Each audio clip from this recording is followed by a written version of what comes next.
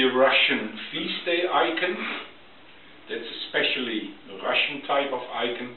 In the center, a very elaborate scene of Easter, the Anastasis.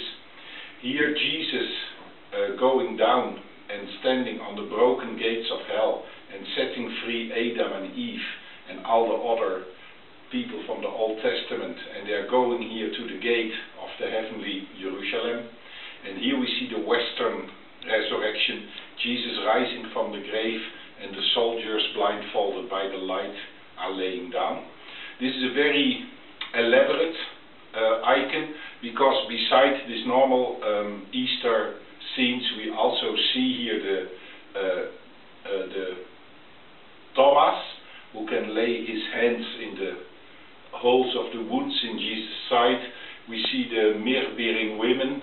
We see the crucifixion and the entombment as extra scenes.